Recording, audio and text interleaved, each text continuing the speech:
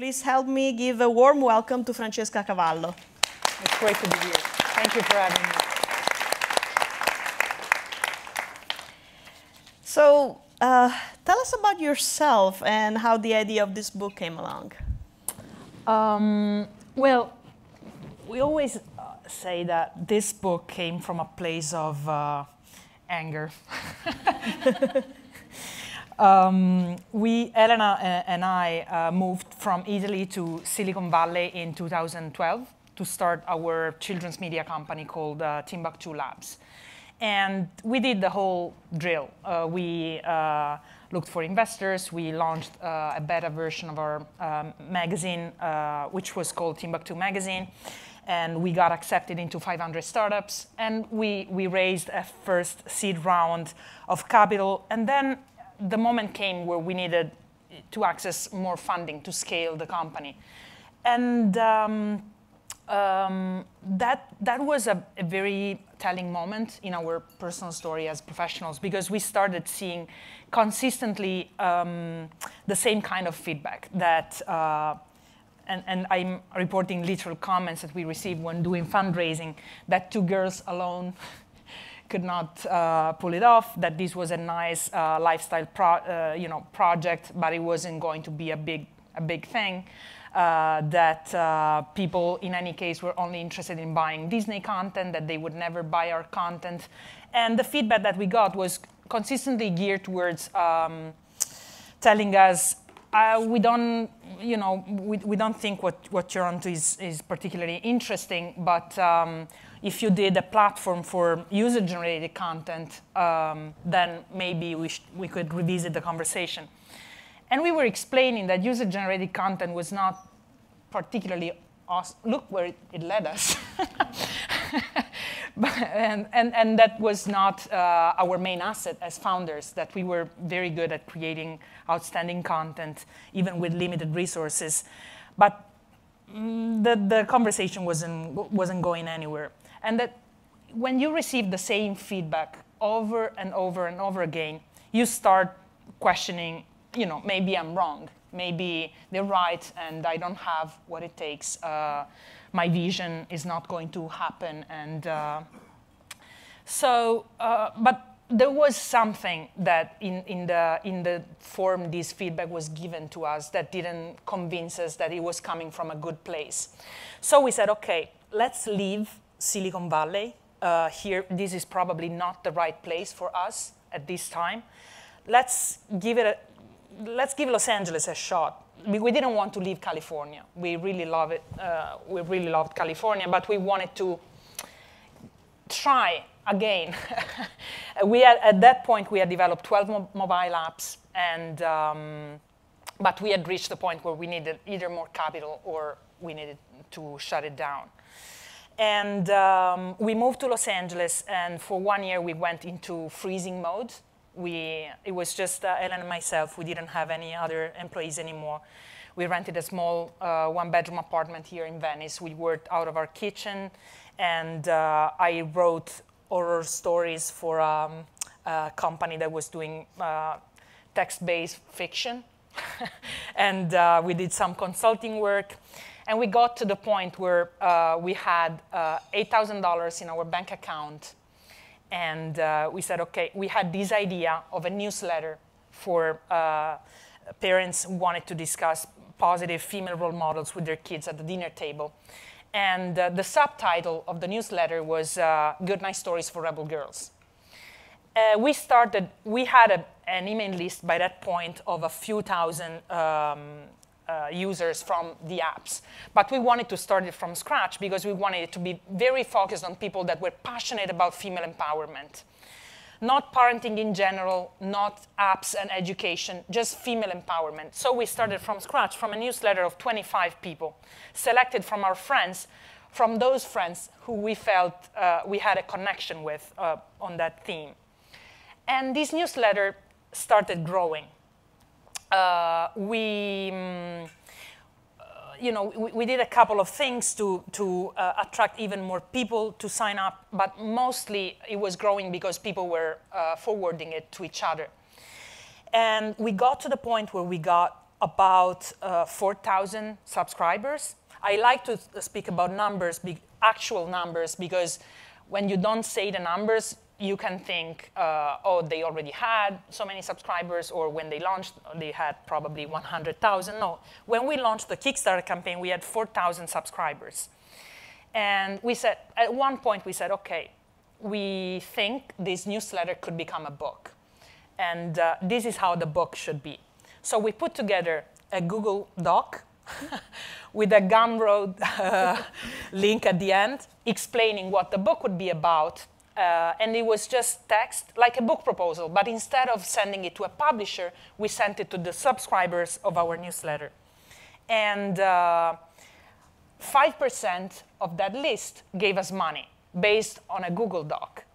They gave us $35 each. So we were like, maybe we're onto something because this is a, a pretty ugly Google Doc.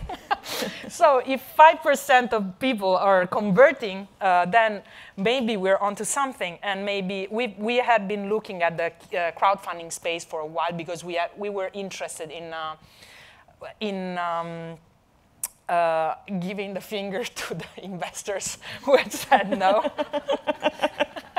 and that seemed like a pretty cool way to do it. So we had been studying the platform a little bit.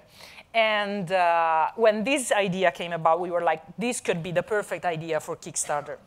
So we put together the campaign, and because it was just the two of us, we basically had to put together a domino of things that needed to happen the moment that we hit the launch button on Kickstarter. So we, um, did, we did all the things that we could. Uh, we used uh, Boomerang to you know, send the emails to all the, the journalists that we had selected the day of the launch. We, I remember that the, the, the day of the launch, we had uh, a schedule and uh, that was starting at 5 a.m. And it was divided in slots of uh, um, 15 minutes each. And, uh, we, and so we had all of these actions that we had to do in order to pretend that we, there was a team behind this thing, a big team. And um, so we launched the campaign and um, we raised uh, for, with a uh, funding goal of $40,000, which we raised in the first uh, 30 hours. Wow. And uh, at the end of the campaign, after 29 days, uh, the book had raised uh, $675,000 from 13,000 backers from 75 countries.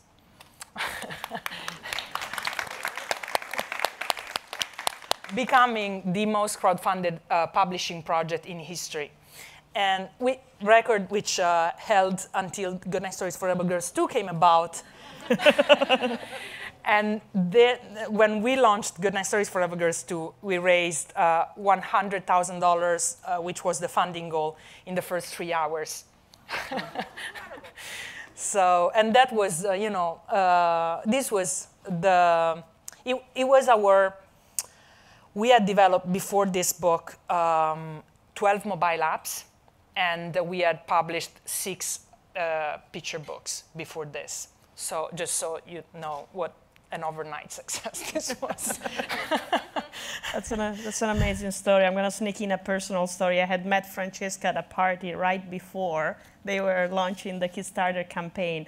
And I remember receiving a personal email from her or a Facebook message or something like that, like just uh, uh, soliciting the Kickstarter funding. And it seems like so well organized to me. And, you know, so happy to hear that it was such a great success. um, in fact, these books are, are a great success. Uh, the issues are not new, though. I mean, you know, female empowerment and kind of highlighting the story of uh, women who did great things is, you know, something that could have been done long ago. And but this book is really successful. And what is this book doing differently with respect to the previous, not too many, but there were previous attempts of telling story of important women? Yeah.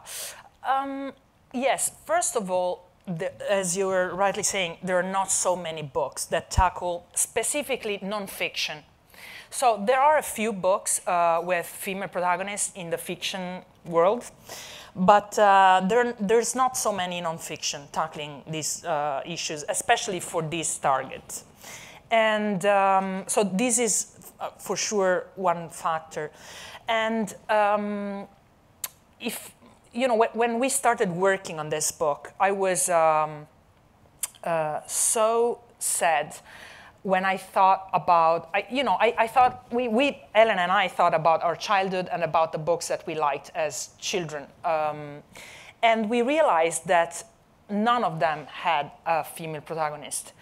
And not just that, that throughout uh, elementary school and then middle school and then high school and then college, I, I did, um, throughout high school, for example, I didn't study a single female writer in his, if you look at history and we think about uh, female figures in history, they're mainly, or in historical movies, they're mainly nurses.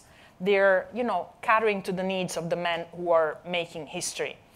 And uh, we felt so outraged by that notion, and we wondered um, what would be, like, what would would we be if we had started the women who had made history.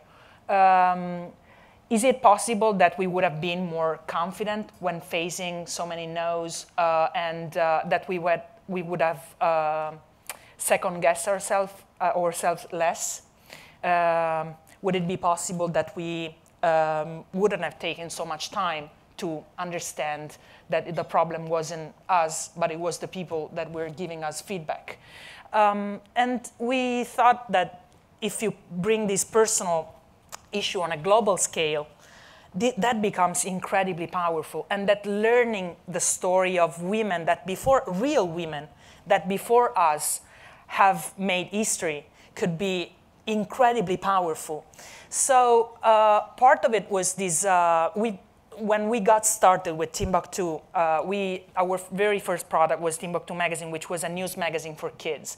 So we've always had this passion for exposing kids to what's happening around them in the real world in a new way, in a way that could spark their imagination. And this project has always been political for us. Um, we, we've always thought that people like to think and to say that kids are the citizens of the future, and we've always looked at kids as the citizens of the present. You can't consider a person a citizen when they turn uh, 18 and they start to vote, and then expect that all of a sudden they are passionate about the world that's around them and uh, they are involved and engaged in their community. You have to start early because, and you have to um, do all you can to make them passionate about what is happening around them and not push them towards these worlds of fantasy that are beautiful and important, but it's not the only thing that's there. Uh, reality is fascinating, and the impact that your daily work can have in real life is one of the most, I mean, one of the things that make life worth living. So we wanted, I, I think this is um, what we wanted to convey through this book. So even though uh, there are other anthologies of uh, notable women in history, there have been many more after our book, um, there is um, a glue that keeps these stories, that holds these stories together, uh, which is this, um, you know, very deep desire of, of, of having an impact in the world and having uh, a set of values uh, that's, mm, you know, this, this, this, glue that, that is around these stories that holds it together, that I, I think uh, gets to the, um, to the kids and to their parents in a way that is more powerful than other, than other books. Cool. Uh, one other thing that I appreciate a lot about the book is the direct style. It's not over dramatizing, it's not but is also not shying away to showcase even some figures that were controversial. One that, for example, hit me because it kind of reminded of my childhood was Margaret Thatcher, very controversial figure. Still, it, she's fe uh, featured in the book. Um, and I love that there was a quote uh, from each woman on each story. Was this a result of some stylistic journey, or did it just come that way, or what was the journey that brought you there? Um, there is this uh, very interesting piece of uh, data um, in Italy, uh, where I'm from, if you hadn't guessed.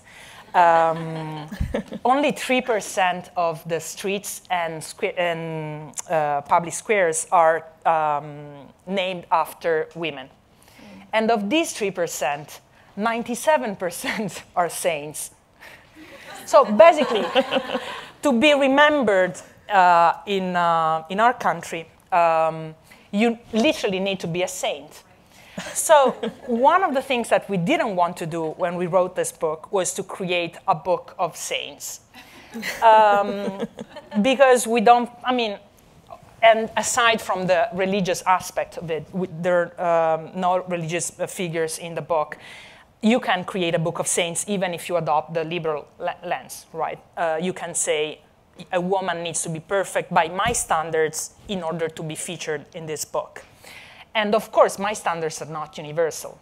So uh, we wanted to make sure that we featured um, a variety of women and that we did not shy away from uh, featuring women who were controversial and who had been controversial, controversial during their life. Because one of the uh, most uh, dangerous lessons that uh, we as women are taught uh, is that we always need to be likable.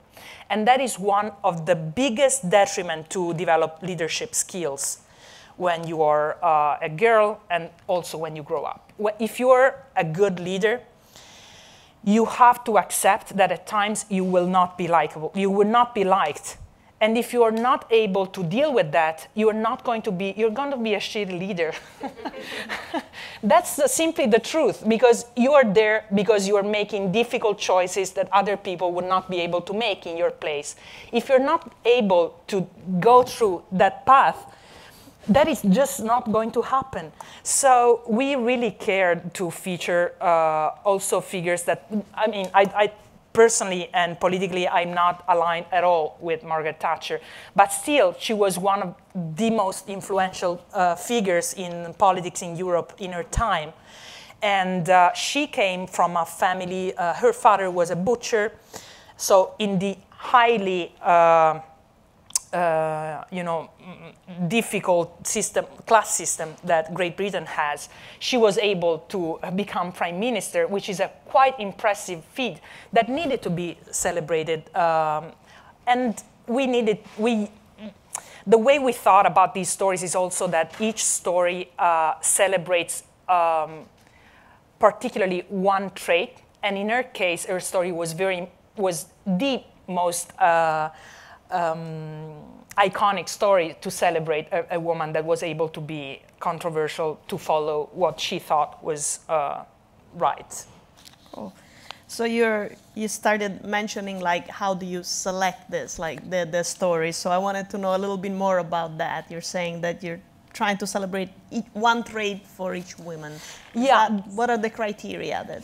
There are a few criteria that we um, adopted. One of them was that we wanted every girl to find a piece of her story in the book. So we really cared from the very beginning to feature women from all over the world and from uh, different ages. Uh, and um, so that was the book needed to um, reflect the diversity that women appear in the world. uh, if you look at uh, cartoons, this is not novel. We've seen it on Facebook one million times, but uh, usually uh, the way women are portrayed also in animation is much uh, narrower. It's much more narrow than the way male characters are portrayed.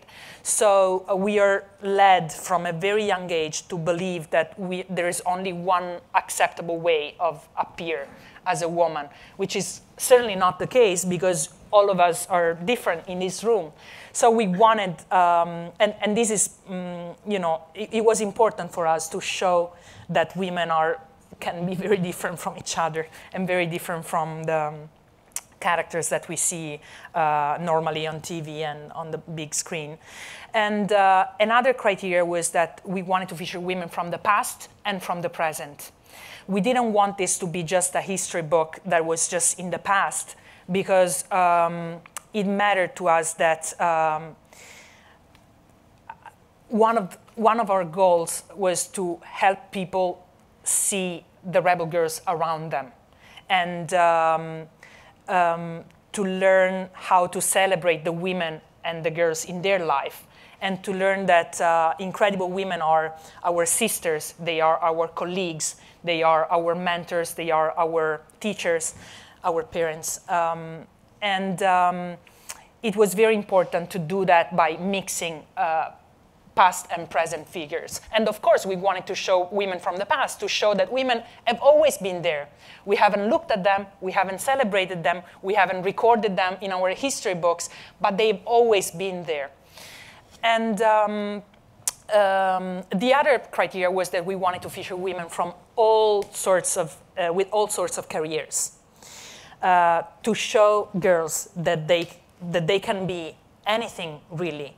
And um, we were very proud when um, uh, we, every day we receive letters from our readers from all over the world. And a few months ago, we received this letter. Uh, they had a career day in elementary school, uh, and um, this girl said that she wanted to be a surgeon when she grew up.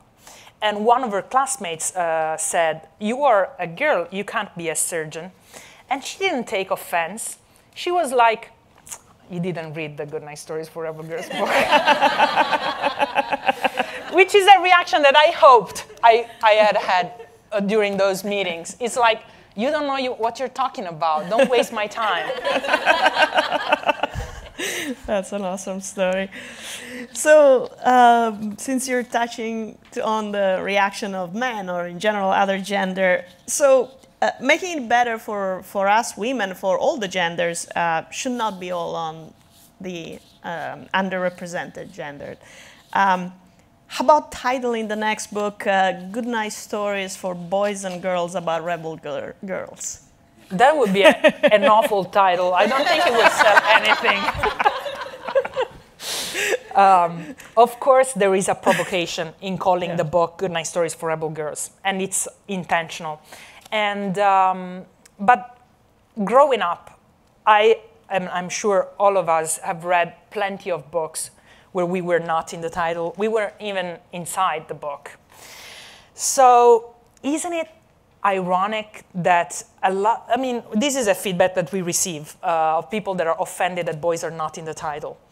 Isn't it um, educational to be passionate about something when you're not in the title? this is our point. We, when we are asked, uh, are you going to do a good night stories for rebel girls, uh, for rebel boys? Uh, we say no, because this is the book for boys. It's very important to learn that you can not be the protagonist in a situation and still be involved and still be supportive. It's been from the beginning of history that we've been supportive of, of stories where we were not protagonists. So we're not asking for the moon, and this is one book. Right. Insert curse word in the middle. so, so about good night stories about rebel girls. it's not, but that's not. This book is not just about rebel girls. This book is about uh, courage. Is about. Uh, is it's it's about life it's not just about girls. As women, we've been, you know, uh, female writers have always struggled with this, and we still do. When men write a book about a love story, they are writing about love and about life and about when a woman writes about a love story, they're writing about uh, their own personal experience and they are writing something that's very niche and very. This is nonsense I mean, why are we considering, why are we denying women the possibility to reflect and to make assumptions about what life is also for men? We've lived all our life with men making assumptions of what life is for women. So why, this, it's quite time we start uh, talking about the issues that we care about, whether they are part of our daily life or whether it's stuff that we're simply thinking about without having to justify ourselves and uh, you know to, to hold off because what if boys get offended? Honestly, who cares? Right. Uh, so the yeah. The question wasn't wasn't too much about boys getting offended, but about making sure that actually boys would read it. Like, uh, it, it, it's a big step to uh, to convince somebody that this is a book also for boys, which I completely agree with. So, what is the path that we have to take to make sure that we have this allyship with the other gender, and what is the path that we have to take to make sure that boys actually do read the book? Well, first of all, many uh, I want to um, say that many boys are already reading this book. Cool. So there are so many pa parents around the world that are buying this book for their uh, also when they just have boys, uh, and they love it because this is more of a thing that grown-ups think that they are not going to be uh, into it because uh, it's called Good Night Stories for Rebel Girls. Right. But actually, this is a book of great stories. So when they are exposed to it, uh, they just love the stories just as much as we loved the stories uh, when we grew up. Um, so that, that's a very important thing. Um, there is something that happened to me uh, last year. I have a friend who is very passionate about gender equality, and uh, she had a, a, daughter. And so we, uh, when, when I bought clothes for, uh, for daughter, I shopped in the uh, boy aisle as much as I did in the uh, girl aisle. And um, two years, uh, no, one year ago, she had, a, she had a boy. So there I was again shopping for her son. And I'm uh, ashamed to say I couldn't bring myself to shop for a boy from the girls' aisle. This is a problem because it means that as much as I am, I like to think that I'm awake to these issues, I, I still have so much internalized misogyny that I felt it would diminish the value of, of her boy if I shopped for him in the, female, in the girls' aisle. This is the problem that we're talking about when we are afraid of buying a book like this for boys. Right. And there is no easy solution. We need to realize that this is the world that we grew up in and that this is part of what we think when we think about ourselves and when we think about our daughters. And we have to hold ourselves to a higher standard. It, it's going to be uncomfortable because this is, I mean, oppression and patriarchy is so deep, it runs so deep in our veins that it, it's going to be uncomfortable to get over uh, all these automatic assumptions that we make and all these automatic choices that we make every day. But it's, this is the battle of our time. And we, are, we need to, be, to hold ourselves responsible and to uh, have the courage to do what's uncomfortable because freedom is at stake. Um, thank you. Uh, if you would have had a book like this to read when you were uh, a child, how do you think it would have changed your life?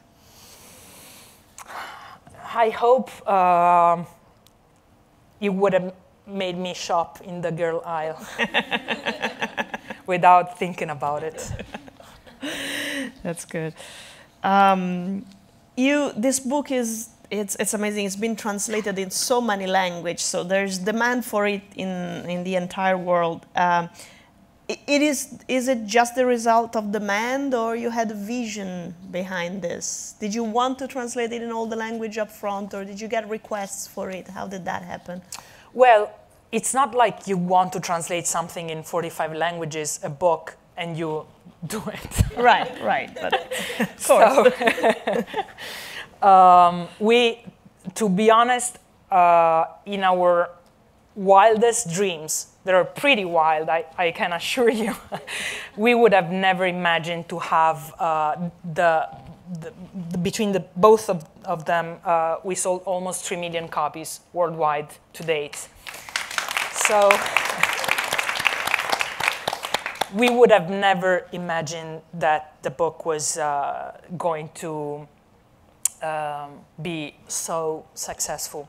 And uh, the thought of families around the world ending their day uh, reading these stories in so many different uh, languages really uh, moves me.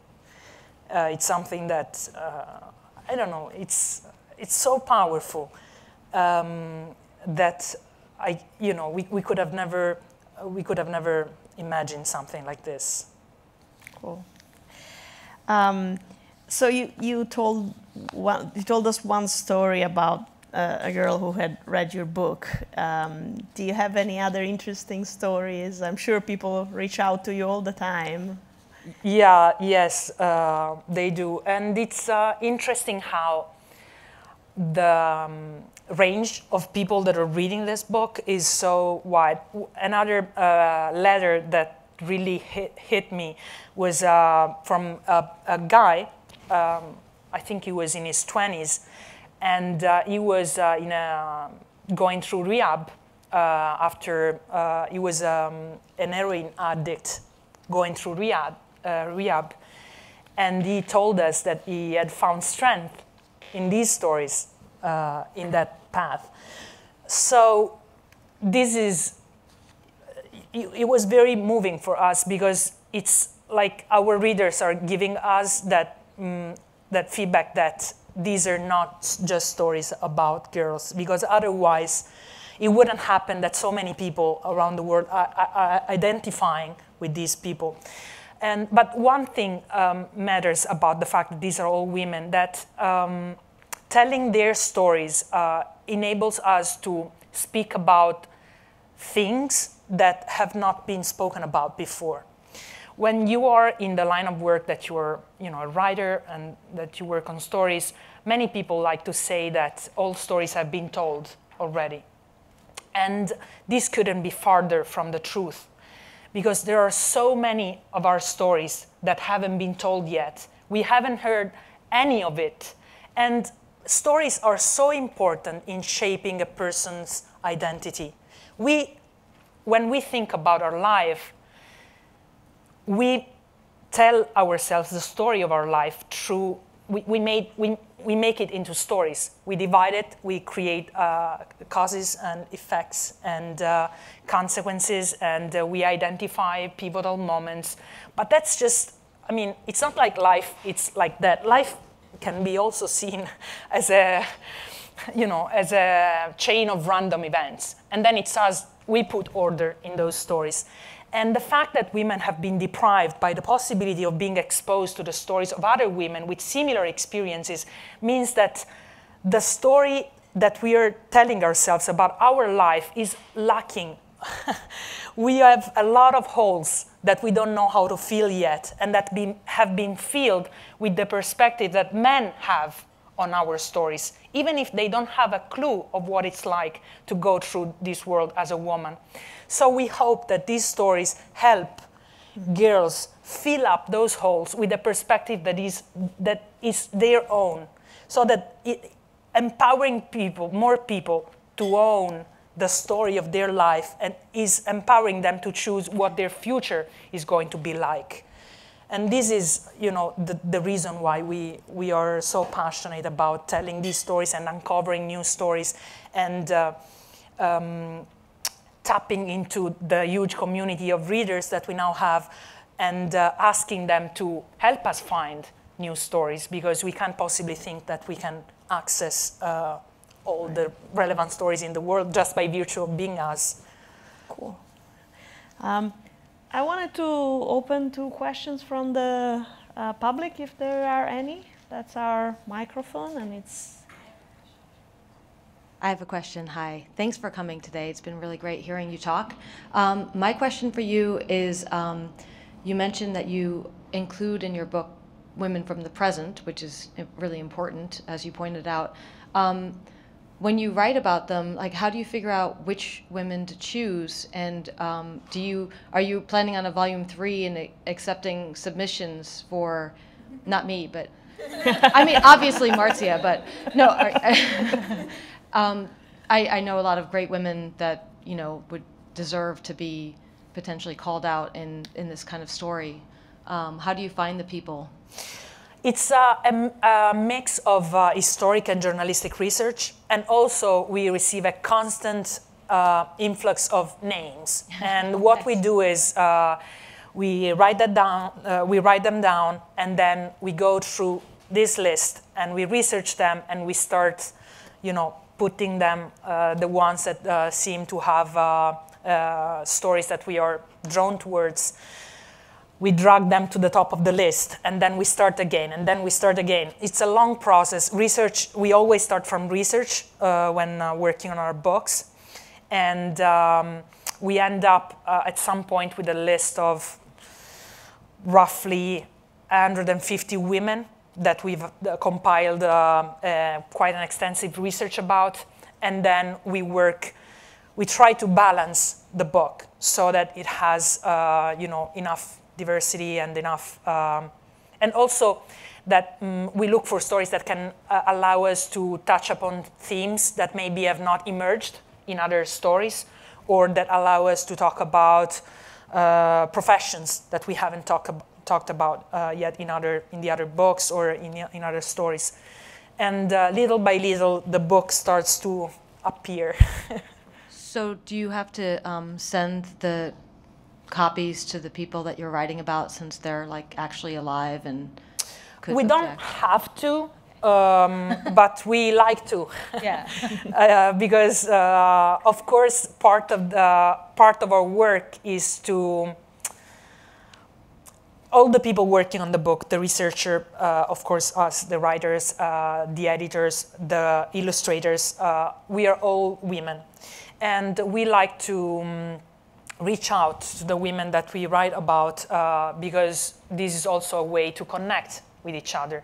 We connect with the artists, and the artists connect with each other. And uh, so we, we like to, from the very beginning, we, um, we've seen this book as a platform to um, elevate women's talent. Uh, and um, we're very proud of the fact that, that um, something uh, weird happened after the first book. Um, some people started to write uh, to us to tell us, uh, I discovered the, the, amazing story of this woman in your book. And of course, in many cases, the story that they were talking about was actually in the book. But uh, there were also a lot of cases where they were telling us, I discovered the story of this woman in, this, in your book. And we we're like, I don't think we wrote about this one. so at the beginning, we were quite confused. But then what happened was that basically the book was like giving people the ability to see stories that they didn't see before, to see talent in people where they didn't look for talent before. And this is incredibly powerful, and uh, we're very, very proud about that. So when um, people write to us with names, we always take note because that's uh, part of the miracle that is happening uh, around, around this book. Uh, thanks for coming and giving this presentation. It's really great to hear directly from you. Um, my question is, are you working on book number three? we are. yes, we are. I don't know if you know this, but we also launched a podcast uh, which has the same title as the book. And uh, in that case, uh, it's, um, each episode is, a, is a, an extended version of one of the stories uh, contained in, in, book one or book two. And uh, we asked um, different women to read um, the, the, the episodes of the podcast. We had uh, Poorna Jagannathan from The Night Of. We had uh, Melinda Gates. Uh, today we released Frida Kahlo, read by Pamela Adlon of Better Things. Um, you, um, we had Alison Mosshart, the singer of The Kills. And in that case, uh, we asked ourselves, uh, ourselves, what is going to be the equivalent of the illustrations in an audio production? And it was voice, of course so it was very um, important for us to use the podcast as a platform to elevate women's voices because we are not used to the female voice. And uh, the, when we look at uh, the impact that this has uh, on the general population during elections, for example, that is very, you know, it's uh, very um, annoying and dangerous. So in that case, it's been very important for us to feature a variety of women's voice, of female voices uh, that tell these stories, and um, mm, we're very, very proud that, of that too. So if you haven't checked, if you haven't listened to it, uh, check it out. so my question is sort of following up on that. You've done two books. You have another in the work. You're doing the audiobooks what what's next? Um, is it all just um, female empowerment and rebel girls? Is there some other area that you're going to try to shine some light on and bring attention to?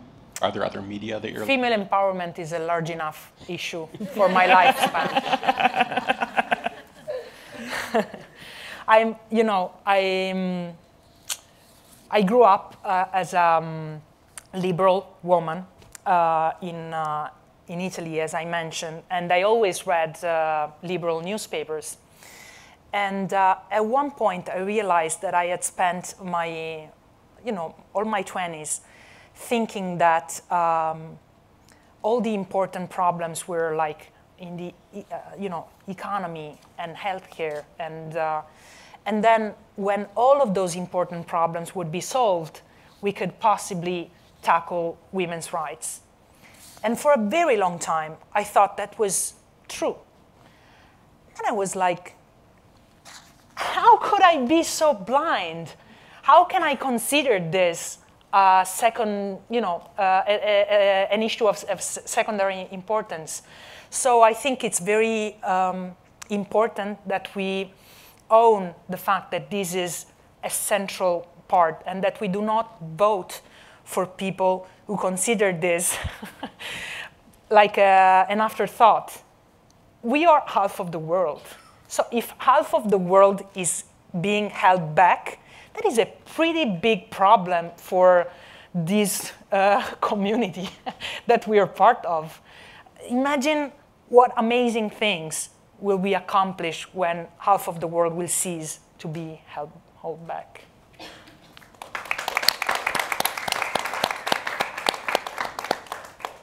I just want to add to that um, that at Google we struggle with this all the time because um, there's a obviously a lower percentage.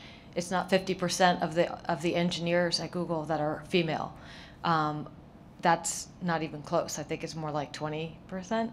Um, and that's something that people in Google take very seriously, and they're always trying to change that. Um, and the way they try to change that is by making sure that we are open to hiring um, women when we're interviewing, but we're not hiring the, them just because they're women. We're hiring them because they're able women. But the problem is that the pool of women that they come from is is also small because the number of women who were graduated from college with a degree that would help them in computer science later on is a small percentage as well. So the problem comes earlier in life, and, and this is what I've argued with people for a long time. You can't just increase the percentage of women in engineering at Google without fixing the problem before that, without fixing it before they even get to college, without fixing it when they're children, when they're young and they're and they're um, trying to figure out what it is that I want to do when I grow up. And this is a perfect solution to that because this is I never had this problem growing up. I have three older sisters and a mom who are all very, very strong-willed and difficult people.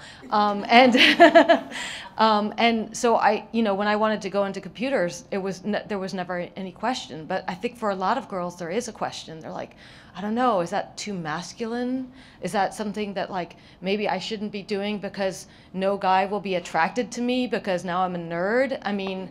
Um, it's a it's a difficult problem, and, and it's nice to see that you're addressing that sort of issue across all these STEM fields, I imagine, not just not just STEM, but anything, right? Like even literature and yeah, um, and it's also a matter. I don't uh, believe necessarily in the way we describe um, what a scientist is.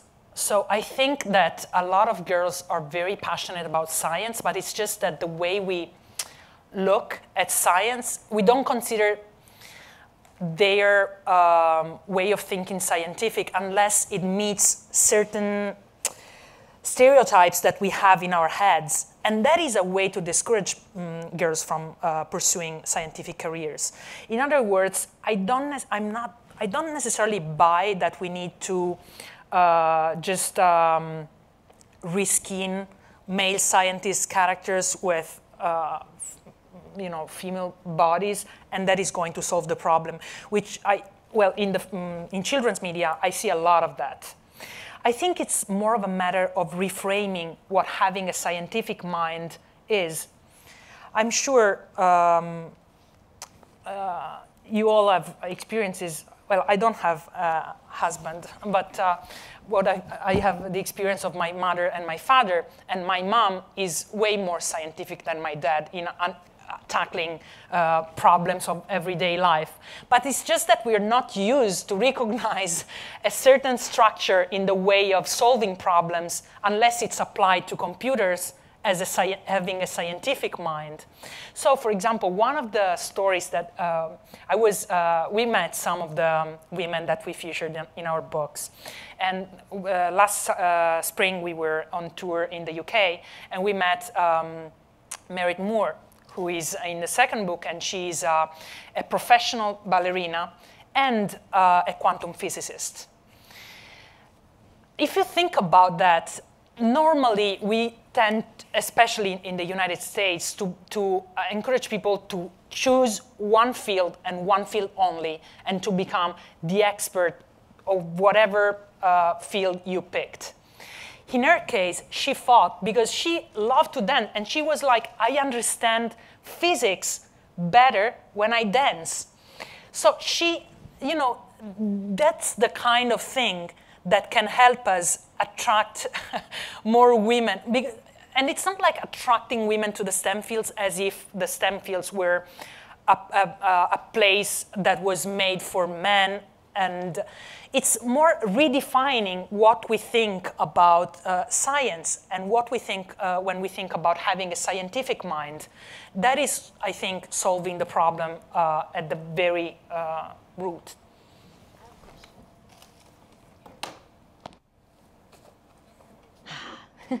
Thank you so much. Um, so now that you're talking about this, have you ever thought about because you're a great storyteller and you reframe things so that people, normal people, right, could also see themselves in the shoes of, you know, a great scientist or that isn't in the exact field it's supposed to be in?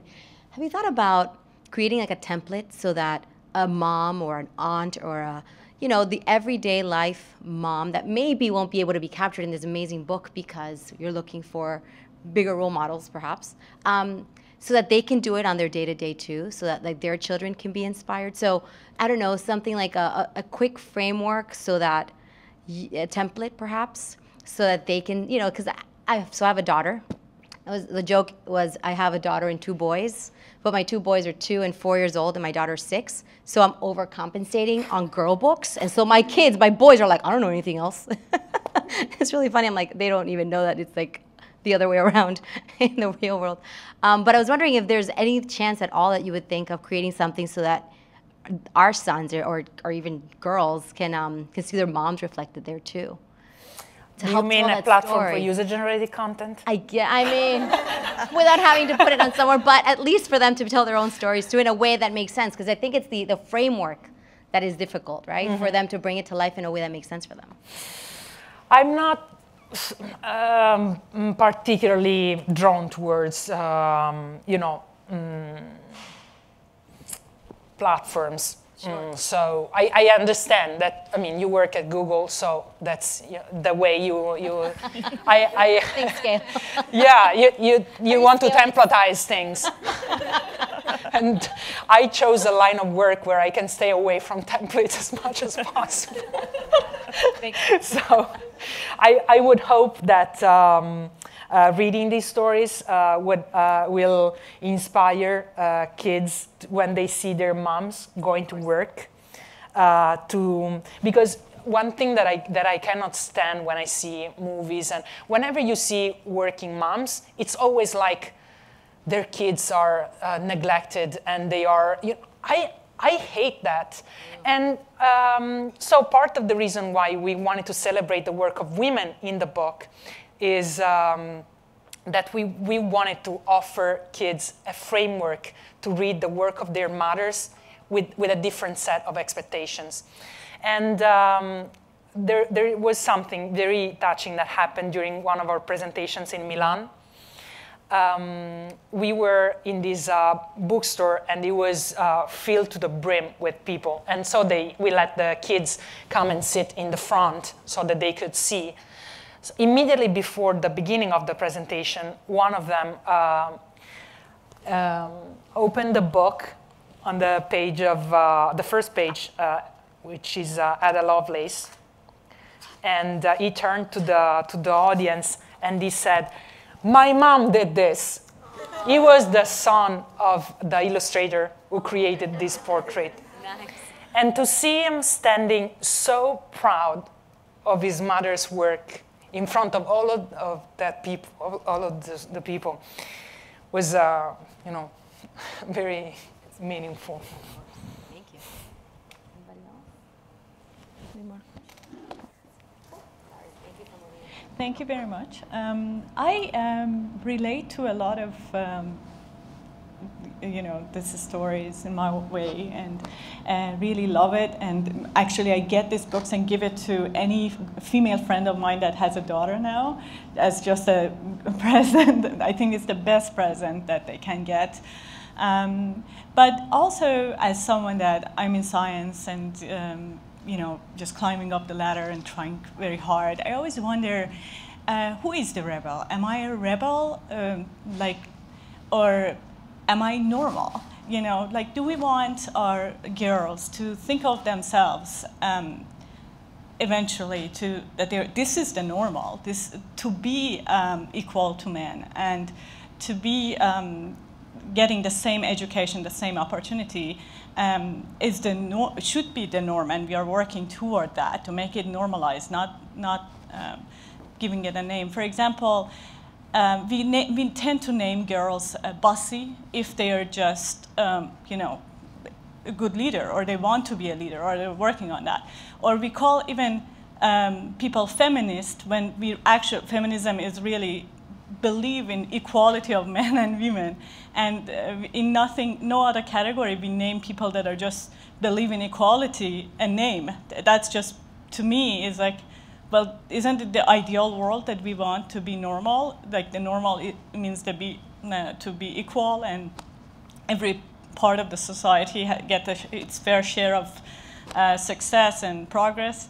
So in, because you are working on this, and this is such a valuable and um, progressive work, and every day you probably meet so many people and so many ideas rush to you and so on. Do you see, like in the future, um, that this work kind of moves toward introducing, like the um, uh, education and women in STEM as normal and not rebel? Like, do you think that do you do you know what I'm? Yeah, yeah, yeah, sure. Like, have you have you touched that idea? Yeah, absolutely. I think that's a great question, and uh, of course we are um, doing all this work so that in the future people will take this book and be like, why rebel? right? The point is that we're not there yet. And that for so many women around the world, being rebels is not a matter of, you know, it's not something they can choose or it's not a matter of having their uh, tongue pierced or it's a matter of survival because we have so many expectations and such subtle and uh, uh, but not subtle but so many so much so many strong invisible laws around us that need, we need to be rebels in order to um, survive in many cases and to thrive in most cases. Um, we need to be rebels to leave uh, an abusive relationship.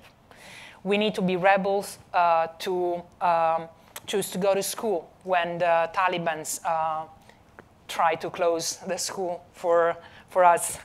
And uh, if you look at, the, at, this from a global perspective, this is uh, rebellion is very much needed.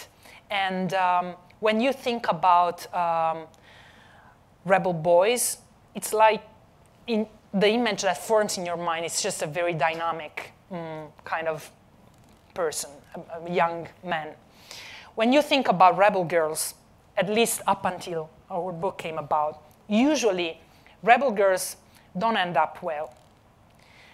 You can, the image that you can, that forms in your head when you think of a rebel girl is the image of a, uh, a woman that does not have a bright future ahead of her. And uh, we wanted to change that because to defy society's expectations is the first step to uh, gain a freedom that everyone tries, not everyone, but most people try to deny us every step of the way.